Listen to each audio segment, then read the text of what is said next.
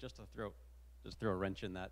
Please. The authority can take out Bitcoin anytime it wants. Um, I don't a think so, fraction, but A good fraction of the miners are in China. In fact, a 51% attack from China is easily available. And to think that the Chinese Bitcoin miners would not, you know, with a gun to their head, would not do a 51% attack is unrational, just unbelievable. Yeah. And there's nothing in Bitcoin that guarantees you won't have a 51% attack if a nation state dictates it. Right. I disagree. Uh, I actually think that the even though a lot of the mining is in China, it's not as concentrated as you think. Some of the pools are, but the mining farms themselves are distributed. Some of them in some very remote rural areas, and in those remote rural areas, those farms represent a significant percentage of the local economy.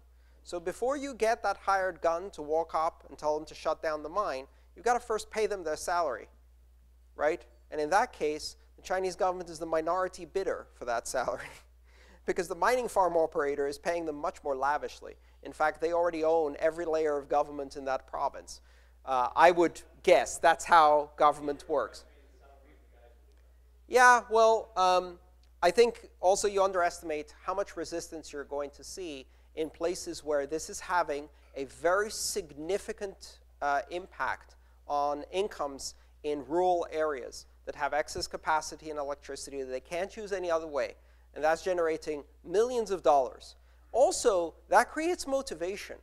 You know, the biggest threat for the Chinese government isn't Bitcoin, it isn't America. It's a billion peasants with pitchforks who have decided they've had enough. And they've been trying to forestall that from happening for 25 years. And growth, economic growth in rural areas, that's the goose that lays golden eggs for them too. I think you overestimate how easy it would be to do that, and also how effective a 51% attack would be, or how long it could be sustained, and what kind of countermeasures we could put in place. This is a system that will evolve. It won't sit still and just take the blows.